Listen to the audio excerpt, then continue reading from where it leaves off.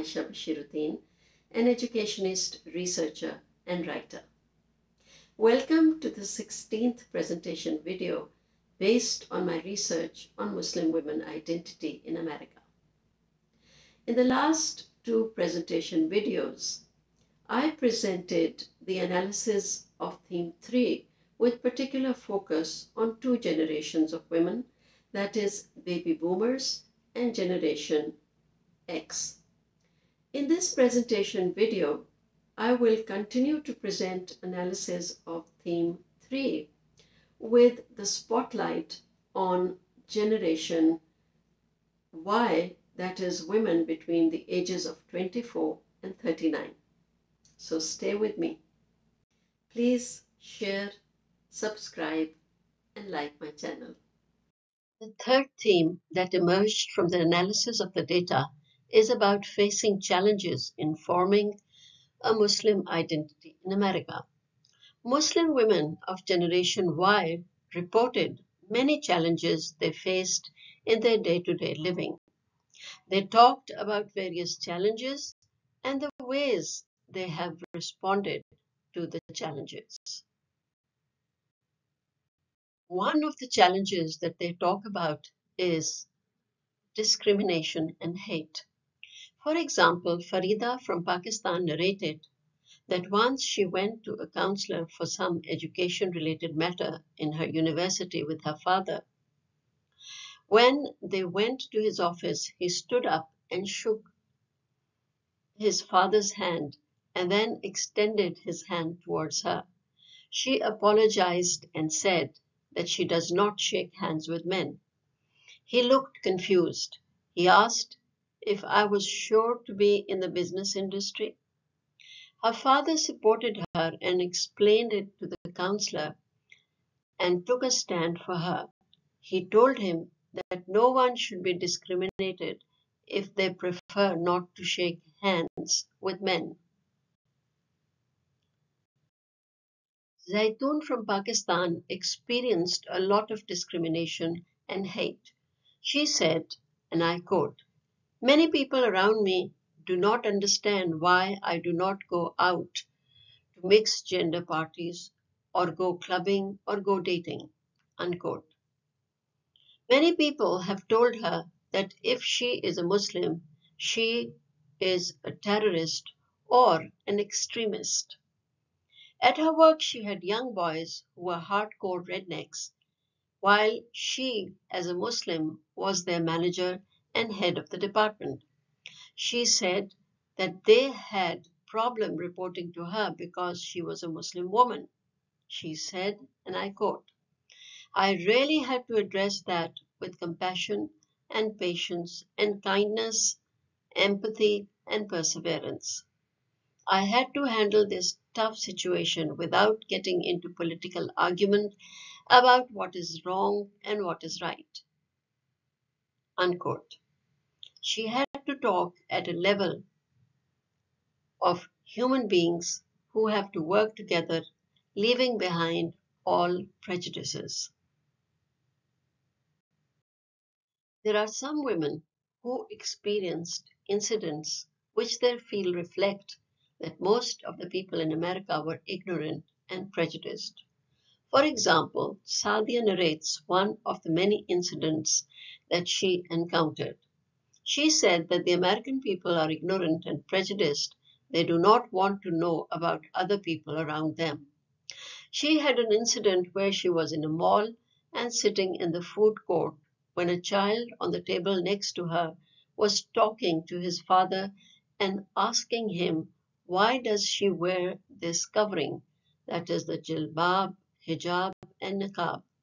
And the father with contempt said that this is her halloween costume.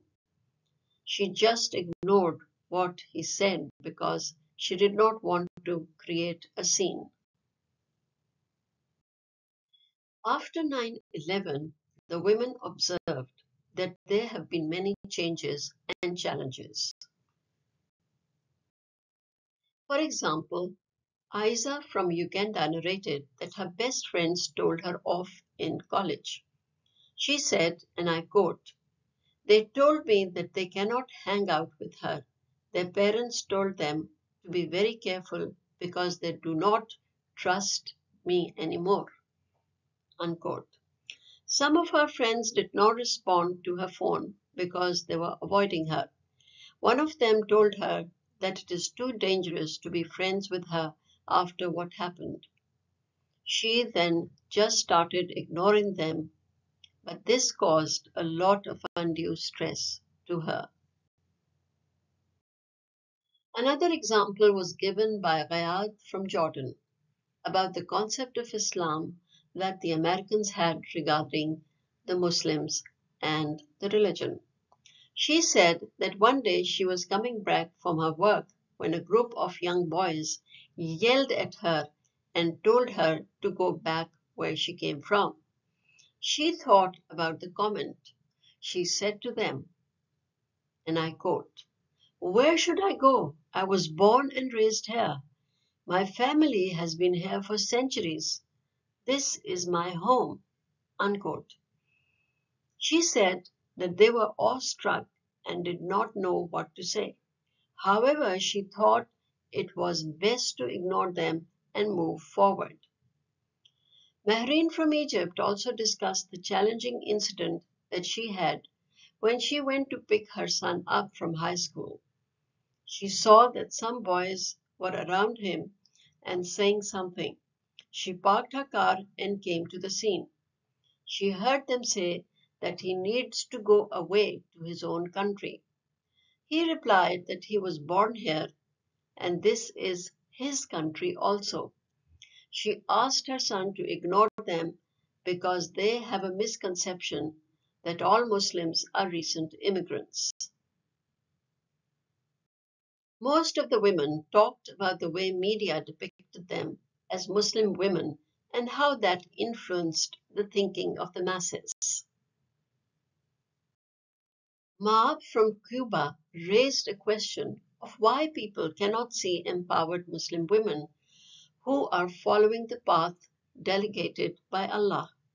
They see them as oppressed because this is how they are represented in the media and elsewhere. Similarly, Farida from Pakistan said, and I quote, My colleagues in the school always asked me if I was oppressed, and I wear hijab because my husband wants me to wear it. Unquote. The only way to educate them, according to her, was to talk about the belief and practice of Islam and how hijab is part of a larger picture. The truth is also that many Muslim women live powerful lives, sourced from the freedom granted to them by Allah. But unfortunately, Islam is painted with a broad brush of rigidity. Abba from Cuba said that if we wear hijab, we are identified and discriminated against, and if we don't, then we have no problems. And she said that she wears a hijab because she follows familial and community practices.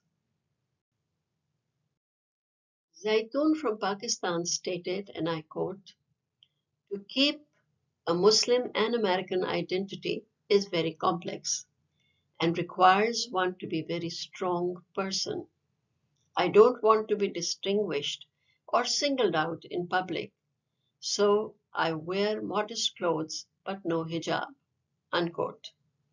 Sadia from Ghana said that sometimes if you have friends with whom you have mutual respect, then it is easier to explain to them what it means to be a Muslim woman, but otherwise it is very challenging. Many of them said that they have the right to be treated equally and the right not to be discriminated against or harassed because of their religion, their gender, or perceptions about their nationality or ethnicity. Daulat from Jordan said that she is a Muslim and she wears a hijab. She feels that as Muslim women, like other people in America, she has the right to practice her religion.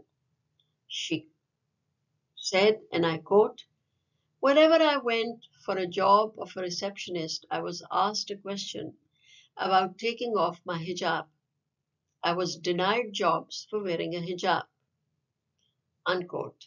She felt discriminated against because of wearing a hijab. Sadia from Ghana said, and I quote, We went to see an apartment for rent.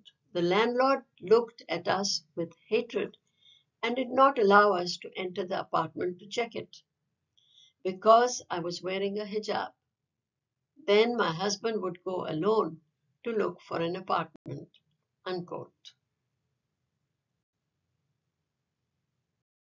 Almina von Ghana said that media sources are instrumental in providing misleading information, which lead to discrimination against Muslims in general and Muslim women in particular.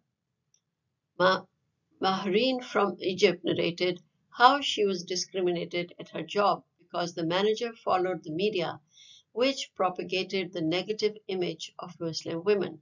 She said, and I quote, they only see us as stereotypes and hence discriminate against us.